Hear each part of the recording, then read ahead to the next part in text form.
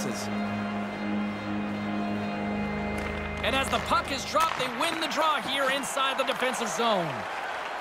Here's an odd-man rush. Thunderous you. He scores! What a goal! Quickly, two goals in right around 90 seconds. Wow, insane how quick that was. Bang, bang. Yeah, the defending team just couldn't put a stake in the ground. They couldn't stop him. He doesn't need too many chances to score. That's one of the reasons he leads his team in goals. He's got a great finish when he gets the opportunity.